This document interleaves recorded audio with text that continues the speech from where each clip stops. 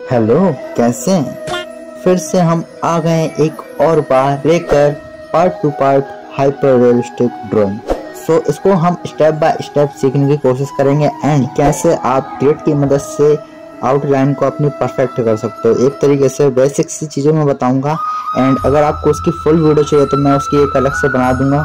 तो चलिए, बिना किसी देरी की वीडियो को स्टार्ट करते हैं।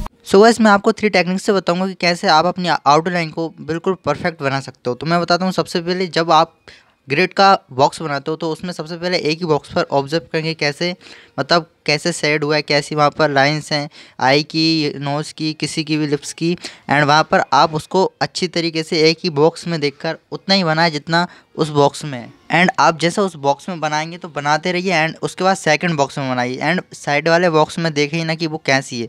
आप क्या सोचते हो कि सीधा मतलब सारे बॉक्स में बनाकर आप ओनली आई को ऑब्ज़र्व करते हो, ना कि आई के एक पार्ट को?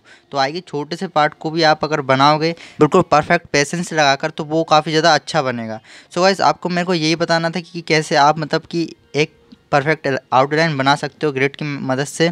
सो so इसकी मैं फुल वीडियो आपको बना के दे दूँगा। सेकंड वीडियो में मैं आपको इसकी फुल वीडियो बनाकर दे दूँगा। आज की इस वीडियो में तो हमें हाइपर रियलिस्टिक की आउटलाइन की वीडियो बनानी थी।